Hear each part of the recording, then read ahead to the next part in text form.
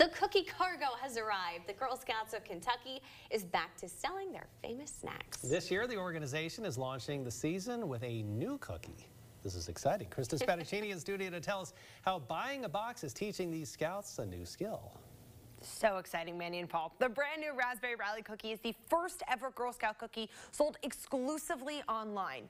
The sale and shipment enhancing the financial literacy of our future entrepreneurs.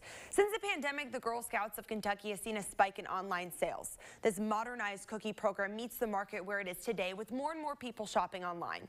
So when you buy a box of Raspberry Rallies, you're helping teach the Girl Scouts about e-commerce as well as supporting their other business skills like goal setting, decision making, and money management management.